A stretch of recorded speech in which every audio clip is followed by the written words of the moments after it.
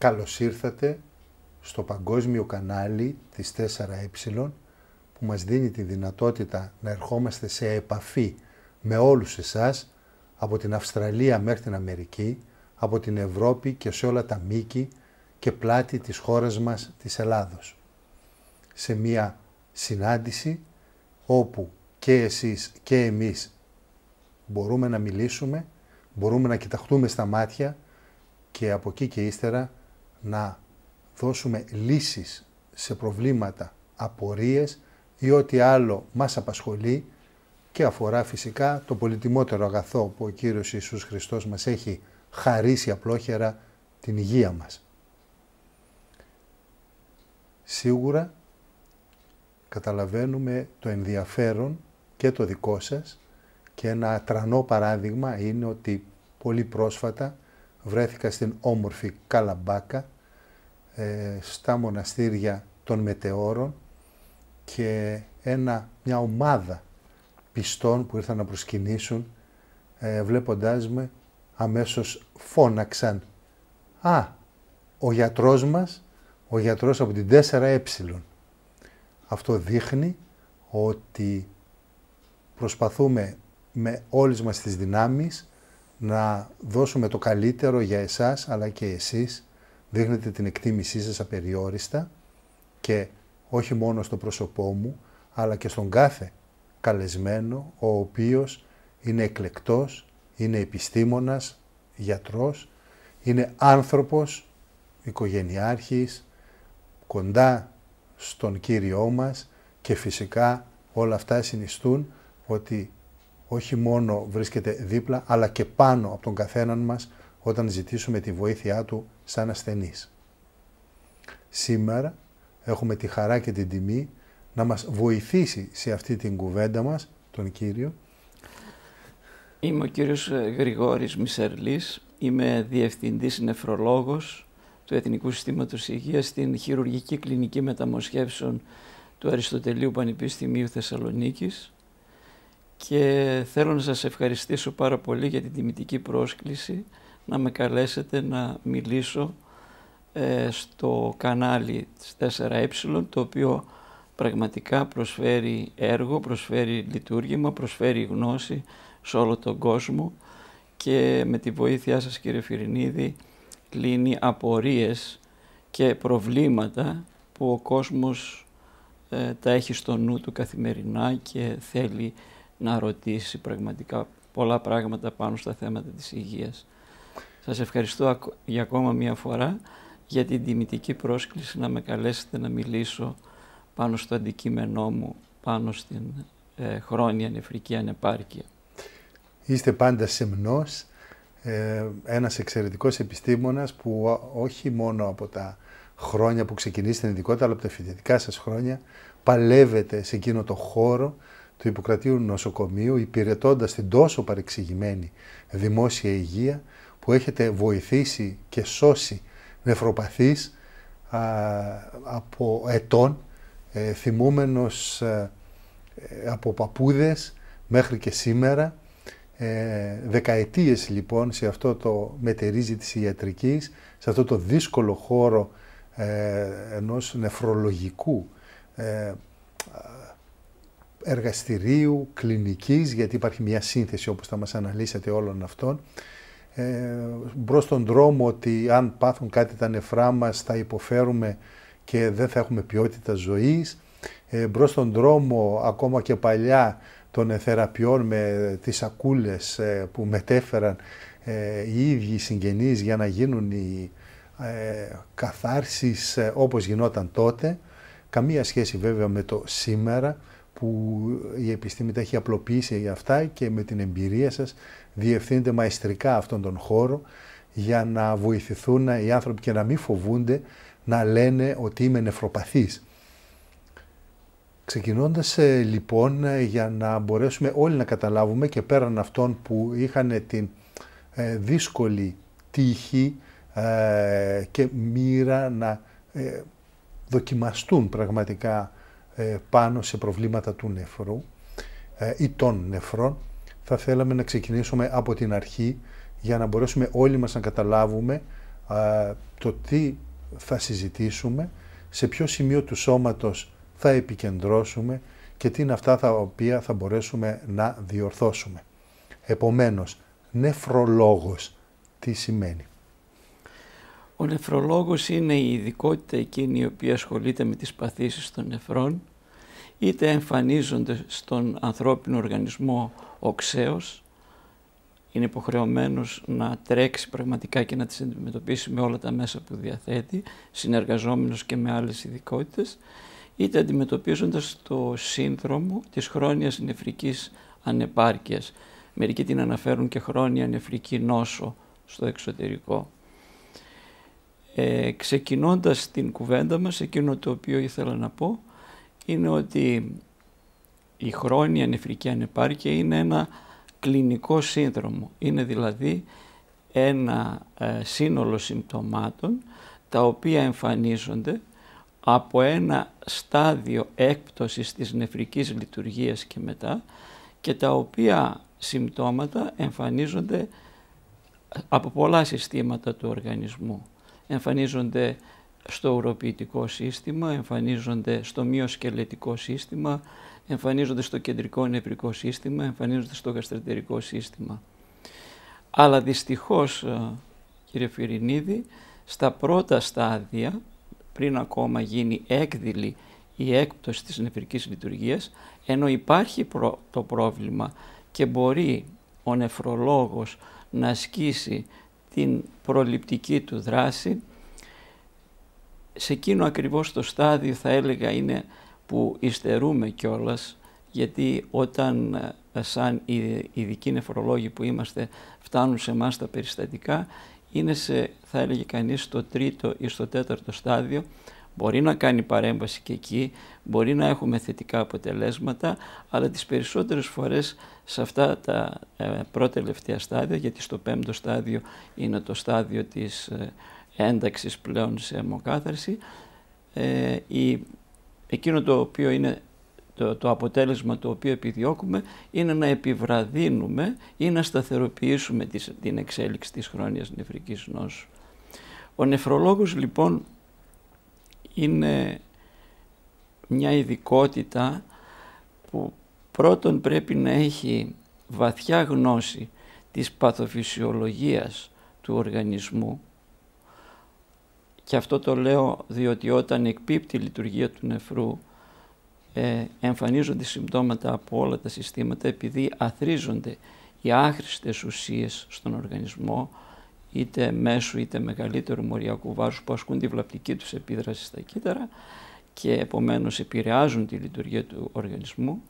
Πρέπει επομένως από τις βάσεις του να είναι ένας καλός παθολόγος Άλλωστε η ειδικότητα της νεφρολογίας τα δύο πρώτα χρόνια κάνεις παθολογία και τα υπόλοιπα τέσσερα κάνεις την νεφρολογία.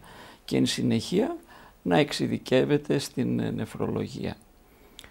Είναι μια από τις πιο θα έλεγα δύσκολες ειδικότητες της ιατρικής που απαιτεί αφοσίωση, που απαιτεί μελέτη, που απαιτεί ε, συμπαράσταση στον συνάνθρωπο για να μπορεί να αντιληφθεί το πρόβλημά του.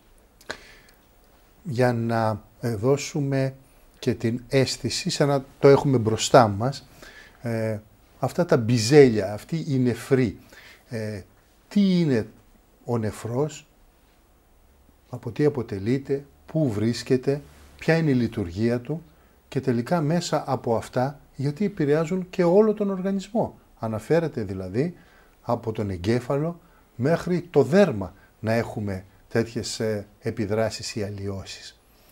Επομένως για να καταλάβουμε όλοι τι είναι ο νεφρός. Μάλιστα.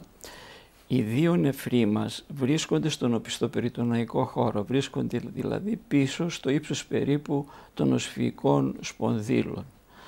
Ε, είναι σαν δύο μεγάλα φασόλια σε σχήμα που έχουν ένα βάρος περίπου 150 γραμμάρια ο καθένας και το οποίο και οι οποίοι απαρτίζονται από λειτουργικές μονάδες, τα νεφρικά σπυράματα, τα σωληνάρια, ε, τα, το ουροφόρο απεκριτικό σύστημα που ξεκινάει μέσα από τον νεφρό και μέσω των ουρητήρων καταλήγει στην ουροδόχο κίστη. Ε, ενώ μέχρι ένας άνθρωπος, ένας κοινός νους θα σκεφτόταν ότι αυτοί οι δύο νεφροί, αυτά τα δύο πολύτιμα όργανα του οργανισμού εκτελούν μόνο απεκριτική ε, λειτουργία. Δεν είναι έτσι τα πράγματα, διότι οι νεφροί είναι και ένα από τα κέντρα παραγωγής ερυθροποιητίνης, μιας ορμόνης που ρυθμίζει τον αιματοκρίτη και την αιμοσφαιρίνη του σώματος, άρα επηρεάζεται το αιμοποιητικό σύστημα. Επίσης είναι ένα σύστημα το οποίο ρυθμίζει τα υγρά και τους ηλεκτρολίτες. Οι ηλεκτρολίτες όταν λέμε είναι η χνοστοιχεία ε, που κυκλοφορούν στο πλάσμα όπως είναι το νάτριο, το κάλιο, ο φωσφόρος, το ασβέστιο. Επίσης ρυθμίζει τις αποβαλόμενες ουσίες μέσου και μεγαλύτερου μοριακού βάρους και ρυθμίζει αυτό που σε γενικές γραμμές λέμε την ομοιόσταση του οργανισμού. Για να είναι ένας οργανισμός ισορροπημένος από πλευράς υγρών και ηλεκτρολιτών θα πρέπει οι νεφροί να δουλεύουν άριστα, θα πρέπει να δουλεύουν πολύ καλά. Για το, επειδή σας ανέφερα προηγουμένως ότι επηρεάζονται πολλά συστήματα, θέλω να πω ότι όταν δεν αποβάλλεται η ποσότητα εκείνη νερού η οποία πρέπει να αποβληθεί, επειδή ανεπαρκούν τα νεφρά λόγω του γεγονότος ότι έχουν κάποια πάθηση, τότε τα επιπλέον υγρά μαζεύονται στον οργανισμό και κυρίως στους πνεύμονες και μπορεί να έχουμε έναν άνθρωπο ο οποίος έρχεται στο ιατρείο μας να τον δούμε με υπερφόρτωση με υγρά, με αρχόμενο πνευμονικό είδημα, με ειδήματα, ειδήματα βλεφάρων. Επειδή δεν ρυθμίζεται καλά το ασβέστιο και ο φωσφόρος που σας ανέφερα που είναι ίχνοστοιχεία τα οποία πρέπει να ρυθμίζονται καλά και ε, από την κακή λειτουργία που υπάρχει στη χρόνια νεφρική ανεπάρχεια στην περίπτωση αυτή έχουμε εκδηλώσεις από τα οστά, από το μυοσκελετικό σύστημα και εκδηλώνεται στον ανθρώπινο οργανισμό μια κατάσταση που ονομάζεται δευτεροπαθής υπερπαραθυροειδισμός. ε, στην επιστήμη μας, στην ειδικότητά μας και που εκδηλώνεται με εκδηλώσεις από το μυοσκελετικό σύστημα. Αδυναμία, κόπωση. Από τις ουσίες μέσου και μοριακού βάρους ε, επηρεάζεται το κεντρικό νευρικό σύστημα, ο εγκέφαλος. Από άλλες ουσίες επίσης επηρεάζεται το γαστρεντερικό σύστημα και μπορεί ο ασθενής να εμφανιστεί σε εμάς με γαστρεντερικά ενοχλήματα, με πρωινή ναυτία, με αλλαγή της γεύσης του στόματος. Ο ασθενής έχει συνήθως μια μεταλλική γεύση στο στόμα και επίσης ε, λόγω της ε, πρώτης ιδιότητας που σας ανέφερα της πτώσης της παραγωγής ερυθροποιητίνης και του γεγονότος ότι πέφτει και ο αιματοκρίτης, ο ασθενής να εμφανιστεί σε εμάς με ένα αίσθημα κόπωσης. Δηλαδή, μπορεί να έρθει ένας ασθενής που όταν το ρωτάει κάποιος γενικός γιατρός ή γενικός παθολόγος να λέει «Μα γιατρέ, εγώ έχω κανονική διούρηση, βγάζω φυσιολογική ποσότητα ούρων.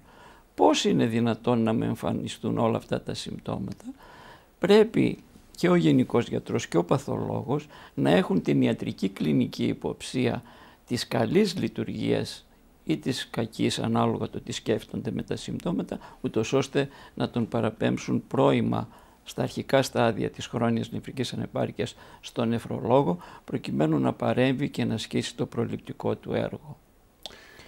Πραγματικά δικαιολογήσατε την, ε, με την θέση του, των νεφρών που είναι πολύ κοντά στη σπονδυλική στήλη γιατί λέμε όχ πιάστηκαν τα νεφρά μου ή ε, όχ πονάει η νεφραμιά μου ε, δίνοντας την εντύπωση ότι κάποιο πρόβλημα των νεφρών δίνει αυτό τον πόνο ε, κάτω από ειδικές συνθήκες ε, κούρασης ε, ή ε, γυμναστικής ή οποιαδήποτε άσκησης που πραγματικά πάσχει η σπονδυλική στήλη και νομίζουμε ότι είναι τα νεφρά στο ίδιο ύψος. Επίσης με αυτό που αναλύσατε πάρα πολύ όμορφο ότι τα νεφρά είναι πολύτιμα και δεν είναι μόνο στο να ε, μεταφέρουν τις άχρηστες ουσίες για να αποβληθούν, αλλά κάνουν και πολλά άλλα πράγματα. Ε, πάνω σε αυτό θέλουμε να δικαιολογήσετε και εσείς αυτό που είναι ε, κοινώ ε, αποδεκτό, το εμπόριο που γίνεται για τα νεφρά και για τις μεταμοσχεύσεις. Ναι, υπάρχει ας το πούμε μια ε, κατάσταση όπου ε, οι, άνθρωποι ας πούμε να, να εξηγήσουμε πρώτα ότι ο πόνος στα νεφρά πίσω και στην σπονδυλική στήλη που εμφανίζεται δεν είναι πόνος που προέρχεται πολλές φορές από τα νεφρά. Δηλαδή μυοσκελετικές παθήσεις της σπονδυλικής στήλης εκδηλώνονται με οσφιαλγία. Η, θα έλεγε κανείς ότι οι μόνες και κυρίαρχες παθήσεις των νεφρών που εκδηλώνονται με πόνο στα νεφρά είναι οι νεφρολιθιάσεις, η, μια χρόνια νεφρολιθίαση μπορεί να εκδηλωθεί ή όταν κανείς έχει μια διόγκωση των νεφρών, μια τάση κτλ. στα νεφρά του, να, λόγω απόφραξης των νεφρών, εκεί θα έχουμε πόνο.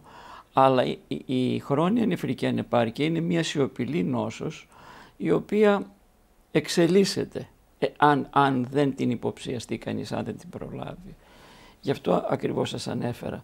Τώρα όσον αφορά το θέμα ε, της, ε, ε, των μεταμοσχεύσεων που αναφέρατε, στον τομέα το δικό μας, στον τομέα των μεταμοσχεύσεων, υπάρχει πλήρης και απόλυτη διαφάνεια όσον αφορά το θέμα ε, και της επιλογής του κατάλληλου δότη και της επιλογής του κατάλληλου λήπτη προκειμένου να αντιμετωπιστεί η χρόνια νεφρική ανεπάρκεια. Και η μεταμόσχευση νεφρού είναι η μόνη από τις τρεις μεθόδους, οι άλλες μέθοδοι είναι η αιμοκάθαρση και η υπερτονική κάθαρση, η οποία έρχεται ως θεραπευτική μέθοδος πλέον να αντιμετωπίσει όλο το σύνδρομο που σας ανέφερα, όλα τα συμπτώματα της χρόνιας νεφρικής ανεπάρκειας. Δεν αντιμετωπίζει δηλαδή μόνο την απεκριτική ικανότητα. Και αυτό σας το λέω γιατί από τα 30 και πλέον χρόνια εμπειρίας μου στον τομέα μου βλέπω ότι οι άνθρωποι οι οποίοι κάνουν αιμοκάθαρση κυρίως γιατί το ποσοστό των ασθενών που κάνει περιτονική κάθαρση είναι μικρό ε, είναι περίπου το 9% των 12.000 νεφροπαθών που κάνουν αιμοκάθαρση περίπου στην Ελλάδα σήμερα, ε, μόνο ένα 9% κάνει περιτονική κάθαρσης. Ε, αλλά η μεταμόσχευση είναι αυτή η οποία θα λύσει το πρόβλημα στο σύνολό του. Ε, να σας αναφέρω έτσι χαρακτηριστικά παραδείγματα. Η, Καταρχάς ο ασθενής αποδεσμεύεται από το μηχάνημα, δηλαδή δεν πηγαίνει ε, στην βάσανο το, και, και της μέρα παραμέρα αιμοκάθαρσης. Αφήστε τώρα που έχουν βρεθεί και μέθοδοι πλέον για την καλύτερη κάθαρση όπως λένε, να γίνεται καθημερινή αιμοκάθαρση, νυκτερινή αιμοκάθαρση, είτε κατοίκον είτε σε μονάδα αιμοκάθαρσης που να διαρκεί 6 ως 8 ώρες. Πράγματι είναι μια μέθοδος η οποία προσφέρει καλή κάθαρση στον οργανισμό, αλλά και πάλι ε, δεν είναι η λύση απέναντι στην ε, ε, μεταμόσχευση γιατί και τα αποτελέσματα της νυχτερινής κάθαρσης κανείς σε μακροχρόνια βάση αν τα συγκρίνει με τα αποτελέσματα της μεταμόσχευσης η μεταμόσχευση υπερτερεί ασύγκριτα. Το ίδιο φυσικά ασύγκριτα υπερτερεί και στην πυρτοναϊκή κάθαρση.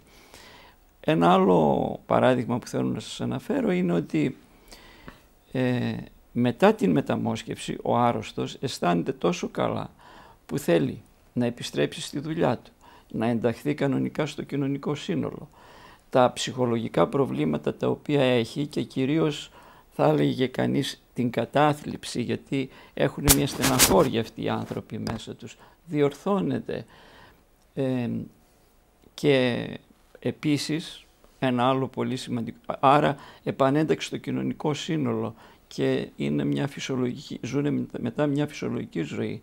Το δεύτερο που θέλω να σας αναφέρω είναι ότι γυναίκες οι οποίες λόγω της χρόνιας νευρικής ανεπάρκειας δεν μπορούν να τεκνοποιήσουν, μετά την μεταμόσχευση γίνονται μητέρες ας πούμε και ε, υγεύονται τη χαρά της γονιμότητας και της, μικρό, και της μητρότητος. Ε, όλα αυτά δείχνουν την ανωτερότητα που έχει. Πέρα από το γεγονός ότι δεν αναφέρουμε σε καθαρά ιατρικούς δείκτες, αναφέρουμε να το, θα τα έλεγα σε ανθρωπιστικούς δείκτες που εμείς που ζούμε τις μεταμοσχεύσεις τόσα χρόνια το έχουμε ζήσει. Έρχονται οι άνθρωποι ας πούμε εντελώς αδύναμοι Και όταν δόξα τω Θεώ φεύγουν μετά από τη μεταμόσχευση, φεύγουν άλλοι άνθρωποι ας πούμε. Χρειάζονται παρακολούθηση διότι παίρνουν ανοσοκατασταλτικά φάρμακα τα οποία τα παίρνουν για να μην απορριφθεί το μόσχευμά τους αλλά η ζωή τους είναι καλύτερη ας πούμε και το βλέπεις και στο πρόσωπό τους γιατί ο άνθρωπος από το πρόσωπο φαίνεται αλλά το βλέπεις και στις εξετάσεις τους και, στην, ε, και στον τρόπο με τον οποίο αντιμετωπίζουν πλέον τη ζωή. Κλείνοντας ε, αυτή την πρώτη ενότητά μας, ε, θα ήθελα πραγματικά να υπογραμμίσουμε ότι τα νεφρά ε, που και εσείς πρώτο αυτό είπατε δεν είναι απλά ένα φίλτρο το οποίο κρατά τις καλές ουσίες και διώχνει τις ε, άσχημες και η τρανή απόδειξη είναι ότι τα νεφρά ε, των ε, διαφόρων αμνοερυφίων ζώων που χρησιμοποιούμε είτε στη μαγειρίτσα τα βάζουμε κοινωνιστιμότατα είτε στο κοκορέτσι χωρίς να πικρίζουν με, με άσχημες ουσίες κτλ. Και, και δείχνουν ακριβώς αυτό που είπατε ότι τα νεφρά πραγματικά επιτελούν ένα έργο, ένα καθαρό έργο ε, και όχι μόνο σαν φίλτρο αλλά και σαν ζωοδότης όργανο σε όλο τον ε, οργανισμό. Πάρα πολύ αισιόδοξο μήνυμα αυτό, όπως φυσικά και το αισιοδοξότερο μήνυμα είναι ότι όλη αυτή την ταλαιπώρια ε, που πέρασαν οι νεφροπαθείς και κάνανε πραγματικά την ειδικότητά σας εφάμιλη με την ογκολογία, δηλαδή ακούγοντας ένα ογκολόγο που φοβόμαστε, τρομοκρατούμαστε, το ίδιο και με τον νεφρολόγο, με όλα αυτά, τα οποία θα μπορούσαν να οδηγήσουν τον άνθρωπο που έχει πρόβλημα με τα νεφρά ε, σε μια καλύτερη ποιότητα ζωής και ε, έχουν ενταχθεί σε μια κατηγορία που τους λέμε νεφροπαθείς και έχουμε πάντα στο μυαλό μας όλη αυτή την ε, ταλαιπώρια η οποία θα φανεί ξεκάθαρα κάνοντας μια μικρή αναδρομή θα ήθελα να το κάνουμε αυτό. Δηλαδή από τον παππού Σωτήρη που είναι τώρα που παλικαράκι τότε είχε τον πατέρα του και τον έτρεχε από το χωριό ε, στο Ιπποκράτιο, ε, όπου και εσείς ήσασταν τότε νεότατος ε, βοηθός εκεί στην κλινική. Ε, θα ήθελα λιγάκι να περιγράψετε το κλίμα, δηλαδή πώς βοηθούσατε τότε, ε, με τι δυσκολίες και με ποια υλικά που χρειαζόταν και φτάσαμε σήμερα στη μοντέρνα πλέον κλινική που έχετε και την αντιμετώπιση και φυσικά στο κομμάτι των μεταμοσχεύσεων. Έτσι μια μικρή αναδρομή ναι. για να θυμηθούν οι παλιοί και να μαθαίνουν οι νέοι. Ναι. Σας ευχαριστώ για την ευκαιρία αυτή που μου δίνετε να αναπτύξω αυτό το ενδιαφέρον θέμα πάνω στην εξέλιξη που υπάρχει σε αυτό το τομέα. Ε, η αιμοκάθαρση, ε, θα έλεγε κανείς, ακόμα και τη δεκαετία του 70 ή του 80 που ξεκινούσε, είχε πολλά προβλήματα. Δηλαδή ένας παππούς όπως αναφέρατε, αυτής της ηλικίας πάνω από 70, πάνω από 75 χρονών, ε, καταρχάς έμπαινε το ερωτηματικό αν λόγω της καρδιαγγειακής του κατάστασης, δηλαδή της καλής κατάστασης της καρδιάς και των Αγίων, μπορούσε να αντέξει την αιμοκάθαρση. Γιατί στην περίπτωση ε, αυτή τότε, εκείνα τα χρόνια, ε, η ανταλλαγή που γινόταν ε, μεταξύ των υγρών του σώματος και του φίλτρου της αιμοκάθαρσης ήταν τα φίλτρα ογκώδη τεράστια και ε, θυμάμαι χαρακτηριστικά ότι το αίμα έπρεπε να περάσει από ένα διαμέρισμα τεράστιο ε, για να υπάρχει από την άλλη μεριά το λεγόμενο διαμέρισμα του διαλύματος και οι αιμοδυναμικές διαταραχές που κατά τη διάρκεια της αιμοκάθαρσης εμφανιζόταν ήταν πραγματικά πάρα πολύ σοβαρές. Δηλαδή ε, ένας ε, παππούς αυτής της ηλικίας θα εμφάνιζε στη διάρκεια της αιμοκάθαρσης ένα βαρύ επεισόδιο υποτασικό, μπορεί να εμφάνιζε και ένα καρδιαγγειακό επεισόδιο. Έπρεπε όλο το νοσηλευτικό να τρέξει επάνω του, να, το, να τον αντιμετωπίσει με χορήγηση υγρών και να αποκαταστήσει το πρόβλημά του. Σιγά σιγά επήλθε εξέλιξη όμως σε αυτήν τη ε, διαδικασία της αιμοκάθαρσης και πλέον ε, οι άνθρωποι αυτοί Πρώτον δεν αποκλείονται από την αιμοκάθαρση, δηλαδή ο παππούς Σωτήρης θα κάνει και σήμερα αιμοκάθαρση και ας είναι 75 και 77 και 80 χρονών αφού υποβληθεί στον έλεγχο. Ε, και η, σταθερότητα την οποία παρουσιάζουν πλέον λόγω του γεγονότος ότι υπάρχει εξέλιξη στα φίλτρα της αιμοκάθαρσης και στα διαλύματα της αιμοκάθαρσης είναι πραγματικά ασύγκριτα μεγαλύτερη από ό,τι ήταν τη δεκαετία του 70 και του 80. Άρα αυτούς τους ανθρώπους τους κάνουμε αιμοκάθαρση. Δεν τους στερούμε την δυνατότητα παράτασης της ζωής τους μέσω της, μέσω της αιμοκάθαρσης. Επίσης θέλω να πω ότι για τέτοιες ηλικίες, για ηλικίες μεγάλες, επειδή εκ των πραγμάτων έχουν ε, σε μεγαλύτερη συχνότητα, παραδείγματος χάρη υπέρταση, ζαχαροδιαβήτη, η μέθοδος η οποία προσφέρεται, αλλά η οποία δυστυχώς είναι σε, μικρότερο, σε μικρότερη αναλογία από ότι ε, άλλες μέθοδοι της αιμοκάθαρσης, είναι η περιτοναϊκή κάθαρση.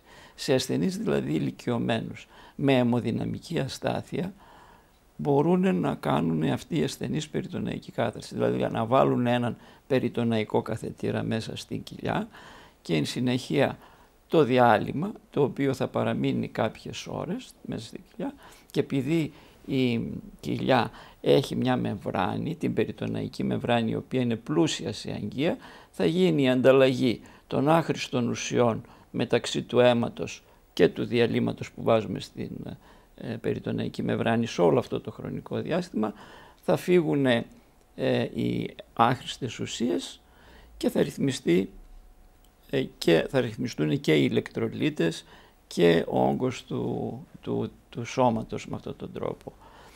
Και, και, σε, και στον τομέα της περιτοναϊκής κάθαρσης έχει, έχει γίνει εξέλιξη, διότι ενώ παλιότερα η, η περιτοναϊκή κάθαρση ήταν, να το πω έτσι πολύ απλά, χειροκίνητη, δηλαδή την κάναμε με τέσσερις αλλαγές την ημέρα, τώρα με τα μηχανήματα της αυτοματοποιημένης κάθαρσης, ο ασθενής βάζει το βράδυ όταν είναι να κοιμηθεί δίπλα στο κρεβάτι του το μηχάνημα της περιτοναϊκής κάθαρσης, συνδέεται εκπαιδεύεται μάλλον να συνδέεται στην αρχή από το ιατρονοσηλευτικό προσωπικό του νοσοκομείου, εκπαιδεύεται για ένα χρονικό διάστημα 15 ημερών πώς θα πρέπει να συνδέεται με το μηχάνημα και κατά τη διάρκεια του ύπνου του γίνεται η περιτοναϊκή κάθαρση. Όταν το πρωί σηκώνεται αποσυνδέεται από το μηχάνημα και πηγαίνει κανονικά στη δουλειά του.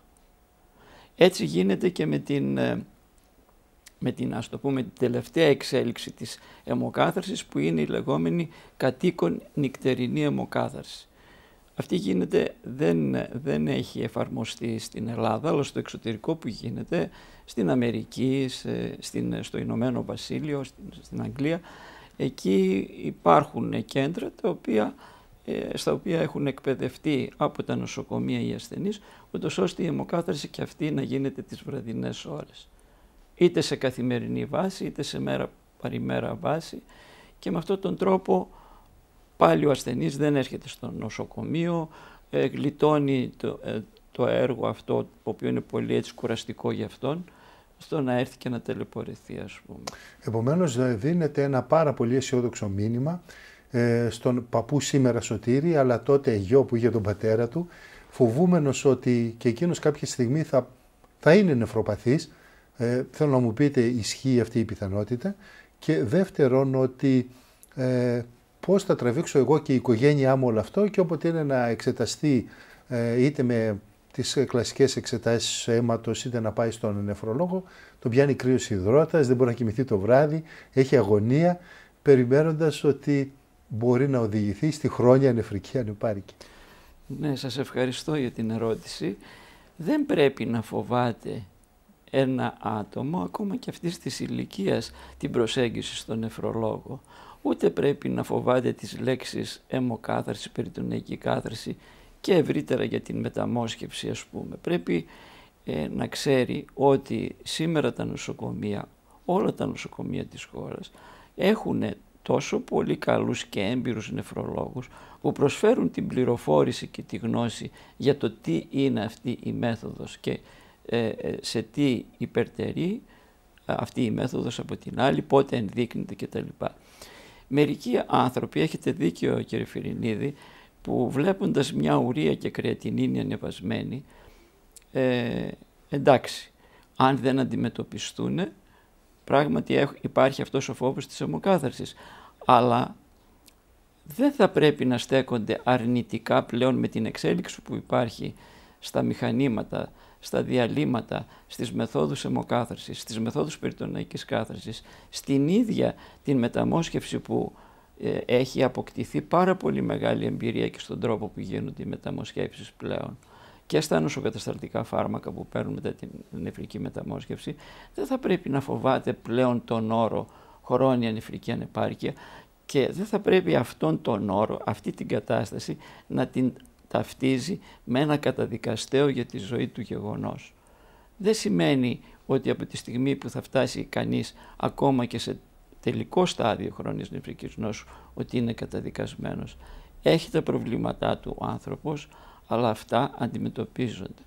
Και σας ανέφερα προηγουμένως ότι ε, σας, τις, τις παράπλευρες, ας το πούμε, τα παράπλευρα συμπτώματα της χρόνιας νεφρικής νόσου. Η ανεμία σήμερα αντιμετωπίζεται με τη χορήγηση ερυθροποιητίνης. Αποφεύγουμε τις μεταγγίσεις.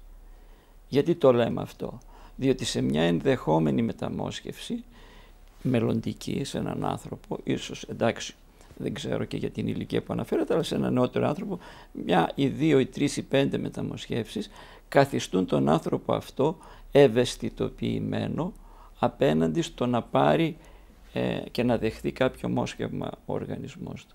Η ερυθροποιητίνη λοιπόν όσον αφορά το δικό μου τον τομέα βοήθησε στο γεγονός το να μην υποβάλλεται ο ασθενής σε πολλαπλές μεταγγίσεις τα, τα, οι οποίες θα τον καθιστούσαν ε, έναν ε, άνθρωπο που δύσκολα θα μπορούσε να δεχθεί ένα μόσχευμα. Δεύτερον, όσον αφορά το θέμα της επίδρασης της χρόνιας νεφρικής ανεπάρκειας πάνω στο μυοσκελετικό σύστημα και εκεί έχουν γίνει πρόοδοι.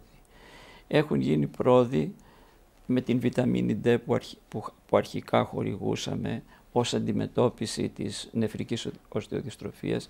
Μετά έχει ε, με τα ασβεστιομιμητικά φάρμακα, τα οποία ασβεστιομιμητικά φάρμακα βοηθούν στη ρύθμιση του ασβεστίου, του φωσφόρου και στη ρύθμιση της παραθορμόνης και άρα στη διόρθωση του δευτεροπαθούς υπερπαραθυροειδισμού και υπάρχει και η μέθοδος σε τελική ανάλυση όταν δεν ελέγχονται όταν δεν ελέγχεται καλά η κατάσταση του μυοσκελετικού συστήματος εξαιτίας των διαταραχών του ασβεστίου και του φωσφόρου, να κάνει κανείς απλές επεμβάσεις. Μια απλή επέμβαση είναι η, η φωλική παραθυροειδεκτομή, να βγάλει τους παραθυροειδείς αδένες που είναι υπερπλασμένοι από τη χρόνια νεφρική ανεπάρκεια που είναι στον τράχυλο, εν μέρη ή εν όλο, ε, προκειμένου να, να γλιτώσει και να απαλλαγεί από το φαινόμενο της νεφρικής οστεοδιστροφίας, άρα να βελτιωθούν και τα συμπτώματά του από το μυοσκελετικό. Επίσης, ε, από πλευράς, ε, αναφέρατε και το δέρμα, ναι, από το δέρμα πράγματι μπορεί να έχουμε κνισμό. Εκεί πλέον ο ουρεμικός κνισμός ή το θέμα των ανήσυχων ποδιών. Υπάρχουν φάρμακα τα οποία βοηθάνε ε, τα δίνουν συνήθως και ειδικότητες όπως οι δικές σας, η δική σας ειδικότητα, οι νευρολόγοι και βοηθούν τον άρρωστο χωρίς να προκαλούν περαιτέρω βλάβη στα νεφρά, ούτως ώστε να απαλλαγούν από τέτοιου είδους συμπτώματα ε, κνισμού. Ε, γενικά θα ήθελα πάνω στην ερώτηση που μου κάνατε να πω ότι έχουμε σήμερα όπλα στη φαρέτρα μας με τα οποία στο σύνολο ε, κάνουμε, θα έλεγε κανείς, μια ολιστική ε, προσέγγιση, αντιμετωπίζουμε την νεφρική νόσο.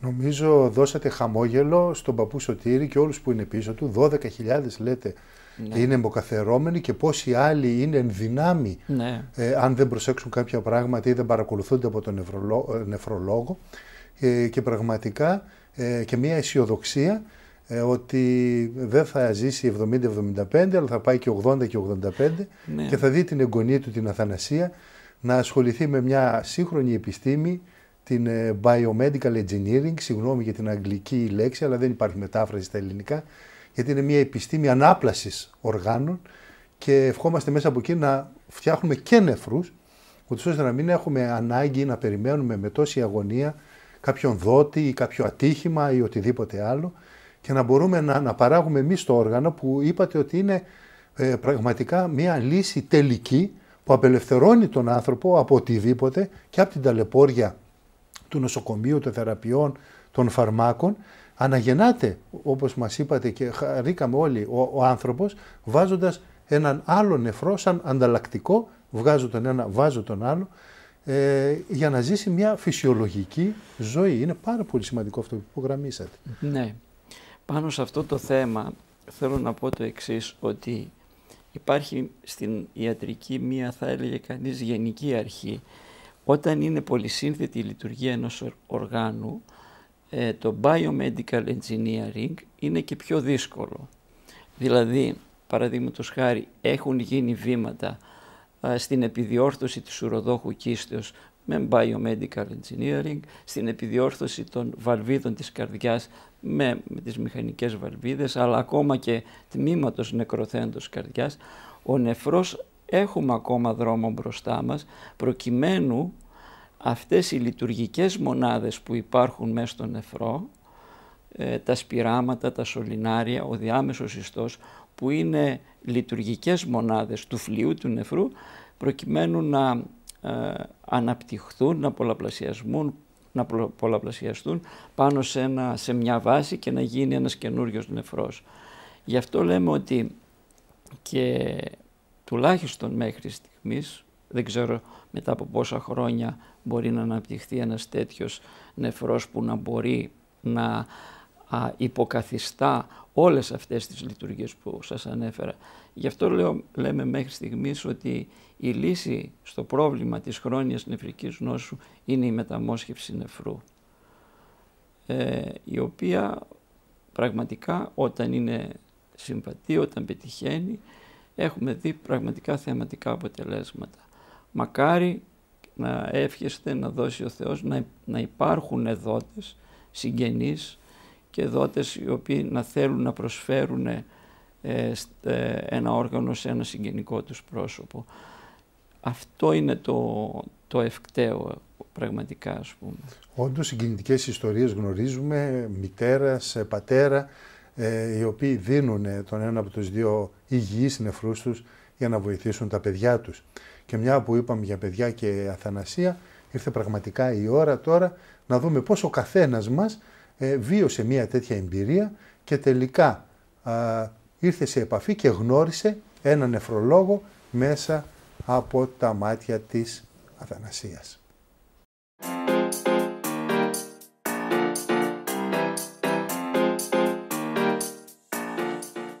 Μετά την πανηγυρική θεία λειτουργία στο ναό του προφήτη Λία, οι συγγενείς μου με καμάρωσαν που παρέλασα κρατώντας υπερήφανα την ελληνική σημαία στην επέτειο του όχι. Φωτογραφίες, συγχαρητήρια και ευχές ακολούθησαν μετά από όλους. Και εμείς μετά ακολουθήσαμε τη γιαγιά και τον παππού στο χωριό. Ήταν υπερήφανοι και συγκινημένοι, μα ιδιαίτερος ο παππούς, όπου δάκρυα γέμισαν τα μάτια του. Παππού, γιατί κλαις, τι σε στεναχωρεί; Είναι δάκρυα χαράς αθανασία μου. Τέτοια μέρα θυμάμαι πάντα τον πατέρα μου, όπου πολέμησε στον πόλεμο του 1940 και τις ιστορίες που μας διηγούνταν. Πιο πολύ όμως θυμάμαι τις συχνές επισκέψεις που έκανε στο νοσοκομείο και που μια μέρα έφυγε από τη ζωή. Παππού, γιατί ο καλός Θεούλης πήρε κοντά του τον προπάπου μου. Αθανασία μου, μπορεί να γλίτωσε από τον πόλεμο, αλλά όχι από τη χρόνια νεφρική ανεπάρκεια. Μα τι είναι πάλι τούτο; Σοβαρή ασθένεια των νεφρών, που ο νεφρολόγος με τις σύγχρονες θεραπείες μας βοηθάει να την ξεπεράσουμε. Φοβάσαι ότι είναι κληρονομική; Αθανασία, ναι. Γι' αυτό και κάνω εξετάσεις, παίρνω σωστά τα φάρμακά μου και πηγαίνω τακτικά να με εξετάζει ο νεφρολόγος.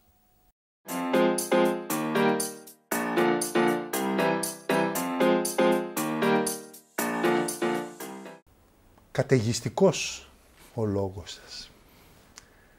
Χωρίς όμως κεραυνούς και αστραπές. Γάργαρος σαν ένα ριάκι. Ουσιαστικός σαν το καθάριο νερό που τρέχει σε αυτό το ριάκι μιας πλαγιάς ενός βουνού με λεπτομέρειες οι οποίες δεν κουράζουν, αλλά είναι ουσιαστικές. Με τον ήρεμο τρόπο σας, με τον στρωτό λόγο σας και με την εμπειρία τόσα χρόνια πάνω σε αυτή την δύσκολη νόσο, μας ε, έχετε οδηγήσει σε ένα σημείο που δεν φοβόμαστε πια οτιδήποτε άλλο πλην ενός όγκου στα νεφρά, ε, κάποιας άλλης πάθησης των νεφρών. Και πριν να οριοθετήσουμε την σημαντικότερη παθολογική πάθηση των νεφρών που είναι η χρόνια νεφρική ανεπάρκεια, εγώ θα υιοθετήσω τον όρο που έχουν και στο εξωτερικό χρόνια νεφρική νόσο, επιγραμματικά θα ήθελα να μας πείτε ε, ποια είναι αυτά τα προβλήματα που μπορούν να δημιουργηθούν στον νεφρό σαν νόση ε, και λίγα πράγματα πώς μπορούμε να τα αντιμετωπίσουμε για να καταλήξουμε τελικά στο πιο σύνηθες και το πιο δύσκολο για κάποιον ασθενή που μπορεί να του τύχει σε μια δυσλειτουργία των νεφρών. Μάλιστα.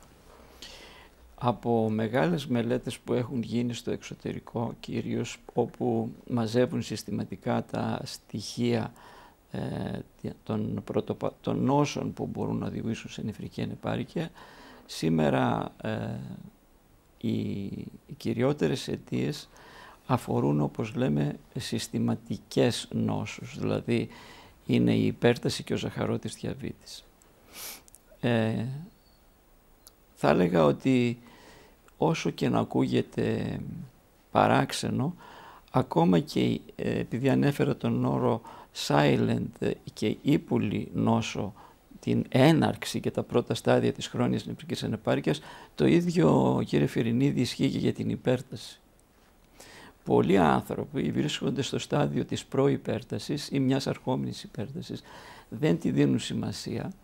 Και θα σας πω και κάτι άλλο, μέχρι όταν εγώ ήμουν ειδικευόμενος, θα έλεγα ή φοιτητής, ε, οι μεγαλύτεροι μας λέγανε ότι εντάξει είναι μια υπέρταση, έχει κάποιος μια υπέρταση, θα πάρει τα φάρμακά του, θα τη ρυθμίσει και δεν υπάρχει κανένας φόβος. Και όμως η υπέρταση και ο ζαχαρότης διαβήτης αποτελούν τα κυριότερα αίτια που μπορεί να, να οδηγήσουν έναν άνθρωπο στην χρόνια νεφρική νόσο. Εκτός από αυτά όμως υπάρχουν και άλλα νοσήματα κληρονομικά όπως είναι η πολικιστική νόσος των νεφρών. Υπάρχουν νοσήματα τα οποία προσβάλλουν το παρέχημα του νεφρού όπως είναι οι σπήραματονεφρίτιδες. Υπάρχουν μικρόβια τα οποία προσβάλλουν πάλι το νεφρικό παρέχημα και την πίελο του νεφρού και κάνουν τις πιελονεφρίτιδες και τις χρόνιες διάμεσες νεφρίτιδες. Υπάρχουν άλλα συστηματικά νοσήματα ε, ε, όπως είναι τα λεμφώματα, όπως είναι νοσήματα ε, που έχουν να κάνουν με την με, αυτοάνοσα νοσήματα, όπως είναι ο συστηματικός ερυθυματώδης λύκος, όπως επίσης είναι άλλα συστηματικά νοσήματα που προσβάλλουν τα αγκία, οι αγκιήτιδες, που είναι ένα μεγάλο κεφάλαιο επίσης στον τομέα το δικό μας. Ε, θα έλεγα ότι μετά την υπέρταση, το ζαχαρόδι διαβήτη, την πολικιστική νόσο των νεφρών και, την, και τα σπυραματικά νοσήματα και τις πιελονεφρίτιδες, αυτά είναι κυρίως τα νοσήματα. Επειδή, αν δεν κάνω λάθος, με ρωτήσατε και για την βαρύτητα όλων αυτών, ε, ε, δεν θα πρέπει να, για τα μεν δύο πρώτα να αγνοούμε, δεν θα πρέπει να αγνοούμε, αλλά πρέπει αντίθετα να έχουμε στο μυαλό μας συνέχεια την καλή ρύθμιση και τη συστηματική ρύθμιση της υπέρτασης. Επίσης δεν πρέπει να αγνοούμε το γεγονός ότι ακόμα και σε παθήσεις σπυραματικές, τις σπυραματονεφρίτιδες, που εκδηλώνονται και αυτές πολλές φορές με υπέρταση. Δηλαδή η υπέρταση εκεί πλέον είναι δευτεροπαθής, οφείλεται στη σπυραματονεφρίτιδα. Υπάρχουν φάρμακα τα οποία στα αρχικά στάδια τα δίνουμε προκειμένου να μειωθεί η ένδοση πειραματική πίεση και προκειμένου να μειωθεί και ο βαθμός κλήρινσης, άρα να μειωθεί και να καθυστερήσει και η νεφρική ανεπάρκεια. Βέβαια στις, ε, στην κατηγορία των σπυραματονεφριτίδων ε, που είναι πολλές εφαρμόζουμε εκτός από τη λεγόμενη παράπλευρη θεραπεία που αφορά τη ρύθμιση της υπέρτασης, τη ρύθμιση της πήξης του αίματος, τη ρύθμιση της χολυστερίνης και των τριγλυκεριδίων. Είναι η παράπλευρη θεραπεία αυτή. Εφαρμόζουμε πλέον και ειδική θεραπεία με ανοσοκατασταλτικά φάρμακα, τα οποία έχουν την ιδιότητα να αναστέλουν κάποιες λειτουργίες βλαπτικών κυτάρων, τάφλεμφο κυτάρων, τα οποία επετίθενται στους νεφρούς και προκαλούν βλάβη. Με, με αυτά τα ε, εφαρμόζουμε με μεγάλη προσοχή, διότι είναι και φάρμακα τα οποία έχουν παρενέργειες. Υπάρχουν φάρμακα που τα ίδια τα φάρμακα, αν δεν προσέξεις τα επίπεδά τους στο αίμα, αν δεν προσέξεις κάποιους ανοσολογικούς δείκτες, μπορεί να αποδεχθούν και αυτά νεφροτοξικά. Επίσης ε, ήθελα να σας αναφέρω, εκτός από τα προηγούμενα νοσήματα που μπορεί να οδηγήσουν σε χρόνια νεφρική ανεπάρκεια, ε, την κατηγορία των φαρμάκων, των μη στεροειδών αντιφλεγμονωδών φαρμάκων, των αναλγητικών έτσι γενικότερα, όπου σήμερα ο κόσμος κάνει μεγάλη χρήση ε, αναλγητικών και μη στεροειδών αναλγητικών φαρμάκων, ε, Κυρίως αυτά είναι τα αίτια τα οποία μπορεί να οδηγήσουν σε χρόνια νεφρική ανεπάρκεια. Όλοι θέλουμε να μην νοσήσουμε από τη συγκεκριμένη πάθηση. Μπορούμε να την προλάβουμε. Μάλιστα. Ε, η χρόνια νεφρική ανεπάρκεια θα έλεγε κανείς πρώτου και δευτέρου σταδίου ε, όταν δεν έχει πέσει αρκετά ο ρυθμός πειραματικής διήθησης, ο οποίος, τον οποίο έχουμε τη δυνατότητα να το μετράμε με, πολλ, με πολλούς τρόπους, είτε με την κάθαρση κρεατινίνης, είτε με μαθηματικούς τύπους, τα, στους οποίους μαθηματικούς τύπους υπησέρχεται η ηλικία, η κρεατινίνη και το φύλλο. Ε, όταν λοιπόν είμαστε στα αρχικά στάδια, μπορούμε να την προλάβουμε. Και επίσης στα αρχικά στάδια, ε, στις, ακόμα και στα σπειραματικά νοσήματα, αρκεί να, αρκεί να παραπεμφθεί ο ασθενής έγκαιρα σε εμάς, να του κάνουμε τη βιοψία νεφρού, να διαπιστώσουμε από τη σπειραματονεφρίτιδα πάσχη, ε, να γίνει εν συνεχεία συζήτηση και meeting μέσα στο τμήμα ότι, μαζί με τους παθολογανατόμους ότι όντως για αυτή την σπειραματονεφρίτιδα μιλάμε, γιατί στις πειραματονεφρίτιδες απαραίτητη προϋπόθεση είναι να γίνει η βιοψία του νεφρού η οποία θα μελετηθεί είτε στο οπτικό μικροσκόπιο είτε θα γίνει ανοσοφθορισμός και εκεί πλέον γίνεται ένα meeting μαζί με τους παθολογανατόμους και ε, μπαίνει η τελική διάγνωση και γίνεται και θεραπεία. Λοιπόν, ε, υπάρχουν λοιπόν σπειραματικά νοσήματα τα οποία είναι σε μακροχρόνια ύφεση, αρκετά χρόνια. Ε, καταλαβαίνετε ότι όταν ένας έχει ε, μια σπυρωματονεφρίτιδα και παραμείνει 20 και 30 χρόνια χωρίς να επιδεινωθεί η νεφρική του ανεπάρκεια, είναι και αυτό ένα κέρδος, είναι πολύ σημαντικό κέρδος. Ε, επομένως, έχουμε τη δυνατότητα τόσο με την παράπλευρη θεραπεία, όσο και με την στοχευμένη, θα έλεγε κανείς, αν και δεν είναι ακόμα τόσο στοχευμένη, αλλά με τη στοχευμένη ανοσοκαταστατική θεραπεία να, ε, να ε, καθυστερήσουμε την εξέλιξη και μερικές φορές να την προλάβουμε. Η πρόληψη επίσης γίνεται και σε ένα βαθμό αν μιλάμε για υπέρταση. Για υπέρταση όπως πολύ καλά ξέρετε είναι το θέμα της δίαιτας και της αποφυγής του νατρίου όσο το δυνατόν ε, να αποφεύγετε το νάτριο. Εντελώς όχι γιατί το νάτριο είναι και ε, στυλοβάτης του οργανισμού, δεν μπορείς να το αποφύγεις εντελώς. Ε, να κάνεις δηλαδή τον άρρωστο υπονατριεμικό. Πρέπει ε, να, να, να κάνεις μια πολύ καλή ρύθμιση ψυχογόνης της υπέρτασης. Τώρα επίσης εκείνο το οποίο συζητιέται πάρα πολύ με το ζαχαρόδι διαβήτη είναι ότι ορισμένες κατηγορίες καινούριων αντιδιαβητικών φαρμάκων έχουν επίδραση και στην εξέλιξη της νεφρικής νόσου που προκαλείται από το ζαχαρόδι διαβήτη. Άρα να λοιπόν ένα άλλο σημείο που θα έλεγε κανείς τη δεύτερη κατά, συχνά, ε, κατά σειρά συχνότητος αιτία έχει γίνει πρόοδος σημαντική. Δηλαδή θα πάρει ο νεφροπαθής τα αντιπερτασικά του, θα πάρει την ειδική θεραπεία για την αντιμετώπιση του ζαχαρόδι διαβήτη, θα πάρει ενδεχομένως αν έχεις σπυρωματονεφρίτιδα και την θεραπεία ε, με ε, την ανοσοκαταστατική θεραπεία και θα έχουμε μία ε, πολύ βραδία εξέλιξη σε σημείο που να έχουμε γενικά και το άλλο που πάμε ακόμα πιο πίσω είναι το θέμα της λεγόμενης καθιστικής ζωής που έχει σήμερα ο κόσμος, δηλαδή του γεγονότος ότι εξαιτίας μεσολάβησε και αυτή η περίοδος του κορονοϊού και όλοι κλειστήκαν στα σπίτια και καθόταν μπροστά σε μια οθόνη κτλ. κτλ, κτλ. Αυτό συνετέλεσε στην παχυσαρκία, στο πολλοί άνθρωποι να γίνουν παχυσαρκοί υπέρβαροι και εκεί πλέον ε, όταν είναι κανείς υπέρβαρος έχουμε επίπτωση στην νεφρική λειτουργία. Άρα τι θα κάνει, θα πρέπει να βγει έξω, να περπατήσει, να ασκηθεί, να περιορίσει το ζωικό λεύκομα. Όχι εντελώς.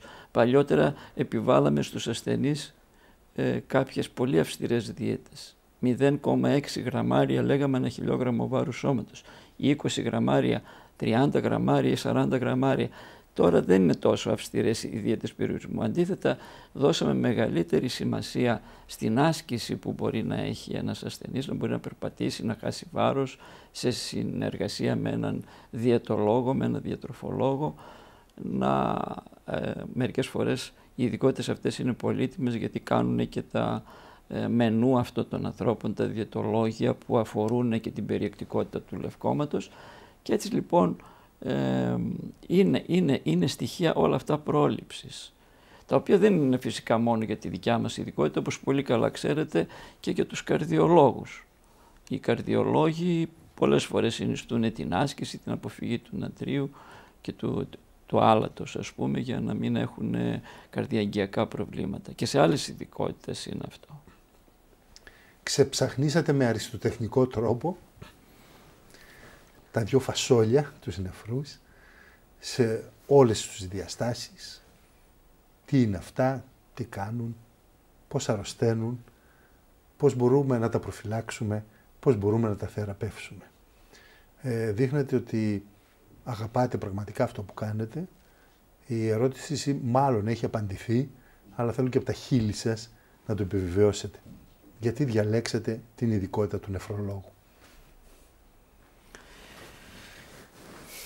Λοιπόν, ε, όχι μόνο από τα χείλη μου, αλλά και από την καρδιά μου θα το απαντήσω. Η ειδικότητα του νεφρολόγου είναι μια ειδικότητα η οποία έχει να κάνει με τον όλο άνθρωπο, δηλαδή με τις λειτουργίες, θα έλεγε κανείς, όλων των συστημάτων του οργανισμού. Ο νεφρολόγος θα πρέπει να είναι εστιασμένος βέβαια στη λειτουργία των νεφρών, αλλά θα πρέπει να μάθει να συνεργάζεται και να συνεχίζει μάλλον να συνεργάζεται με όλες τις ειδικότητες. Θα πρέπει να έχει μια σφαιρική άποψη της φυσιολογίας και της παθοφυσιολογίας του ανθρώπινου οργανισμού. Αυτά είναι τα σημεία που με κέντρισαν εμένα, τουλάχιστον σαν νέο νεφρολόγο, γιατί στην αρχή ξεκινάς με ερωτηματικά όπως ξέρεις όταν είσαι νέος και λες γιατί να γίνεται αυτό, γιατί το άλλο κτλ.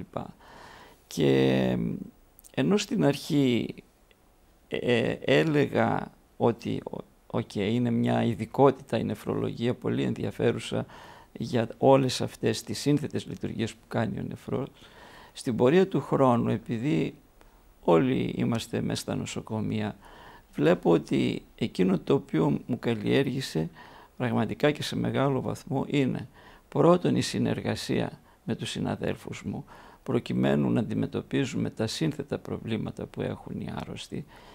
Ε, οι άρρωστοι νεφροπαθείς έχουν σοβαρά προβλήματα από το καρδιαγγειακό, έχουν σοβαρά προβλήματα από το γαστρεντερολογικό, από, από, από, από το οροποιητικό. Αυτά ίσως δεν τα αναφέραμε στην παρούσα συζήτηση σε αναλυτικό, αλλά αυτό ήταν το δεύτερο στάδιο το οποίο με έκανε να ασχοληθώ ακόμα περισσότερο με τις μεταμοσχεύσεις. Επομένως το πρώτο στάδιο ήταν η διερεύνηση του να γι... γιατί να γίνονται όλα αυτά σε έναν άνθρωπο από τη στιγμή που επαρκούν μόνο τα νεφρά.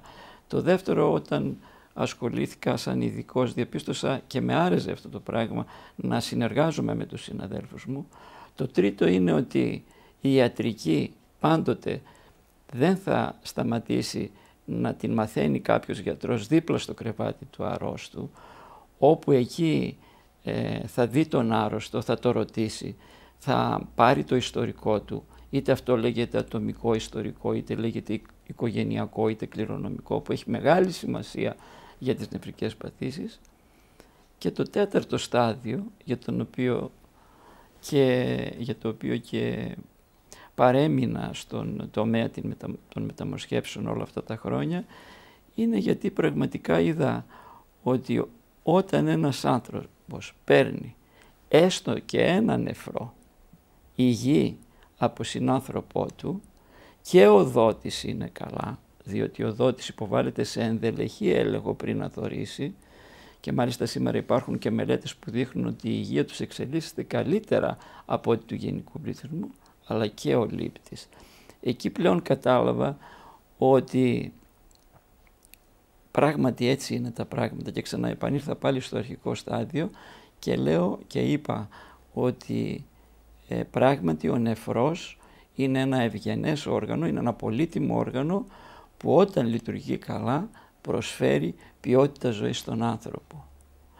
Και αυτά ήταν τα τέσσερα σημεία στην αρχή σαν νέοι που ήμασταν το επιστημονικό ενδιαφέρον, μετά η συνεργασία με τους συναδέλφους μας, μετά το κλινικό ενδιαφέρον και η ανασχόλησή μας με τους αρρώστους που έχουν όλη αυτή την ε, παθοφυσιολογία, που έχουν όλα αυτά τα συμπτώματα και στο τέλος η χαρά που ένιωσα βλέποντας ανθρώπους οι οποίοι ήταν, θα έλεγε κανείς, ταλαιπωρημένοι πάρα πολύ στην αιμοκάθαρση, καταδικασμένοι κτλ.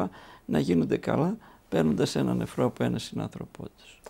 Αυτό ήταν, αυτά τα τέσσερα πράγματα ήταν που ε, ακόμα και τώρα αν ξεκινούσα, αν με ρωτούσατε ακόμα και τώρα αν ξεκινούσα, θα έλεγα ότι θα γινόμουν πάλι νεφρολόγος.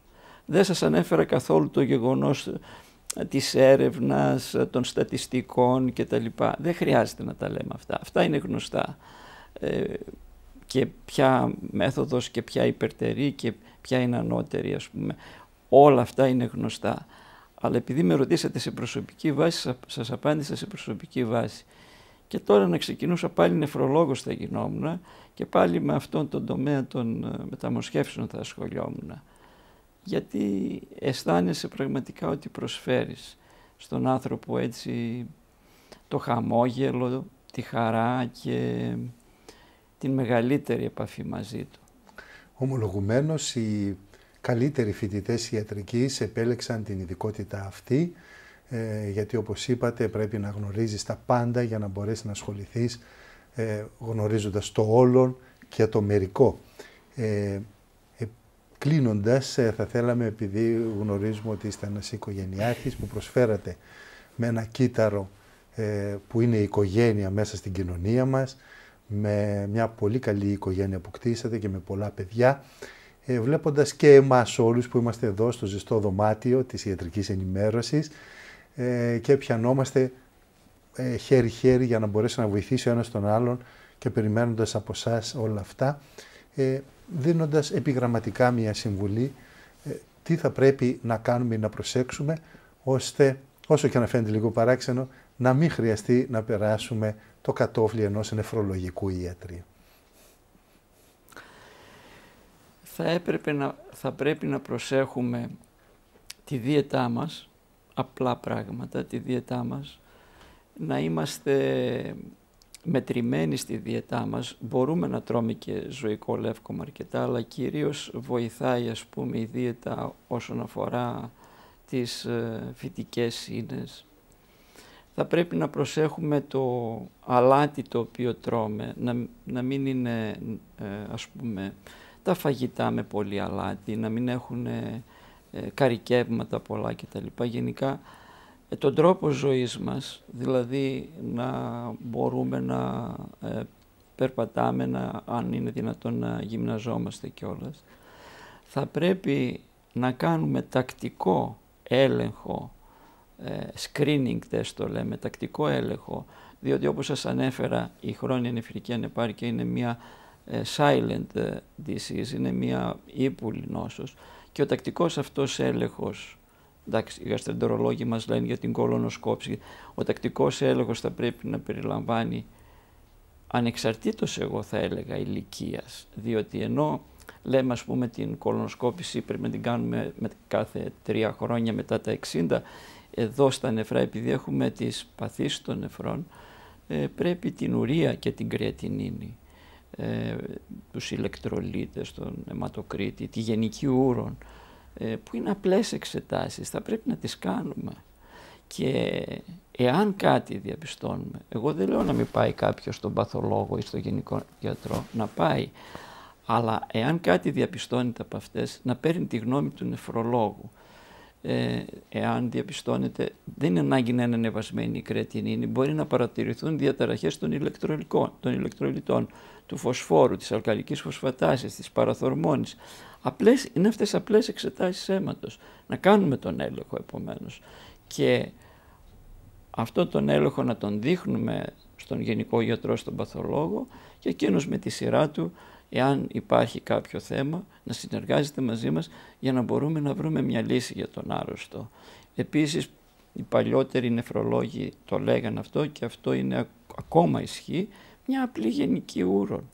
Αν στη γενική ούρον δούμε ε, αίμα ή αν δούμε λεύκομα στη γενική ούρον, ε, δεν μπορεί να περάσει αυτό απαρατηρητό. Ξέρετε κύριε Φιρινίδη πόσοι νέοι ήρθανε πριν ενταχθούν στο στρατό. Είχα τέτοια περιστατικά που δεν έκαναν και κουραστικές εργασίες, ούτε είχαν ορθοστασία και διαπίστωσαν μια λευκοματουρία, μια ποσότητα λευκόματος στα ούρα που βγήκε από μια γενική ούρον. Και μετά από μια α ή β διαδικασία κατάλαβαν ή ότι είχαν κάποια πάθηση ή ότι δεν ήταν τίποτα και ήταν μια ορθοστατική λευκοματουρία ας πούμε και ξεκίνησε από εκεί ας πούμε η όλη διερεύνηση. Τις εξετάσεις δεν πρέπει να τις ξεχνάμε. Πέρα από αυτά που ανέφερα για ε, τον τρόπο ζωής μας, για την απώλεια βάρους, για, την, ε, ε, για τον περιορισμό του λευκόματος κτλ. Είναι πολύ σημαντικές. Οι ειδικότητές μας είναι πάρα πολύ κοντά, επηρεάζουν τα νεφρά τον εγκέφαλο, αλλά και σαν ονομασία έχουμε διαφορά μόνο ένα γράμμα και μερικοί μας μπερδεύουν κιόλας. Ε, ένα φι νεφρολόγος με ένα ύψιλο νευρολόγος. Σήμερα αποδείξαμε ότι δεν υπάρχει καμία διαφορά σε αυτό. Κάναμε μια πολύ ζεστή κουβέντα και σας ευχαριστώ πάρα πολύ για αυτό. Και εγώ ευχαριστώ και εύχομαι και οι άλλες εκπομπές, όλες οι εκπομπές σας είναι πάρα πολύ χρήσιμες να δίνουν πάντοτε έτσι την ευκαιρία στον κόσμο να λύνει αυτές τις απορίες και κυρίως να φύγει αυτός ο φόβος που αναφέρατε και εσείς στην αρχή της συζήτησης ότι η χρόνια νεφρική ανεπάρκεια, η χρόνια νεφρική νόσος, καλύτερα πράγματι νόσο να τη λέμε και όχι ανεπάρκεια, η χρόνια νεφρική νόσος είναι ένα πράγμα, το, είναι, ένα, είναι ένα γεγονός που δεν μπορεί να το προσεγγίσει ή δεν μπορεί να το λύσει κανείς. Σας ευχαριστώ και πάλι που με καλέσατε να μιλήσω στην εκπομπή σας. Τα νεφρά υπάρχει λόγος που είναι δύο, το κατανοήσαμε σήμερα σε όλες τις διαστάσεις αλλά και ένα να μείνει, υπάρχει πάλι τρόπος και αυτό να βοηθά τον οργανισμό και επίσης αν προσθέσουμε και το δεύτερο με κάποιο τρόπο να ξαναγυρίσουμε πίσω. Ε, νεφρολογία, παθή των νεφρών, χρόνια νεφρική ανεπάρκεια, αλλά πλέον δεν έχουμε χρόνια γνωσιακή ανεπάρκεια.